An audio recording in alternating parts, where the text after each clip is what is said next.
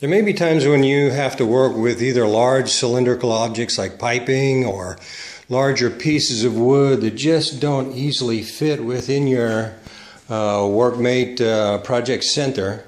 And in that particular case, you may need to make some sawbucks that would fit into your device of your workmate.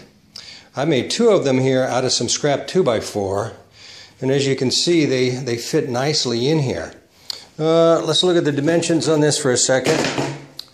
Uh, I had scrap lumber, so I only used uh, 17 and 3 quarters inch. I would say it's not very useful under 12 inches. So the total length is about 17 and 3 quarters inches. The degree between the two uh, members is 75 degrees.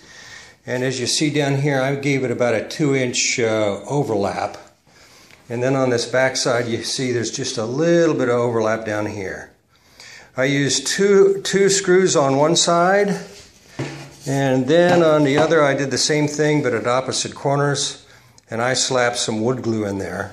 Uh, these are very useful in that they pop right in, and then all you have to do is tighten them down. So there's some very simple do-it-yourself sawbucks for your workmate project center.